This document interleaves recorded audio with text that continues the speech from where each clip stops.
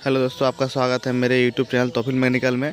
दोस्तों, मैं आपको आज दिखाने वाला हूँ Hero B S three Glamour जिसमें कि हम एक्सलेटर केबल चेंज करने वाले हैं। एक्सलेटर केबल बहुत जाम हो गया है, उसको भी हम चेंज करेंगे। हेलो दोस्तों, आप देख पा रहे होंगे ग्लैमर बी एस थ्री गाड़ी है, जिसका हम एक्सलेटर केबल चेंज करेंगे। लेकिन एक्सलेटर केबल केवल चेंज करने में इसका प्रॉब्लम ये होता है कि जो पहले वाला केबल लगा होता है गाड़ी में, एक केबल पूरा कंप्लीट रहता है यहाँ पर। लेकिन इसको अभी हम जो चेंज करेंगे, उसमें लगाएँगे हम ये नॉर्मल केबल जिसमें कि ये चीज़ लगा हुआ नहीं रहता है फाइबर का इसको इसमें फिट करेंगे। किस तरह किस तरह फिट करेंगे आप देख लीजिए।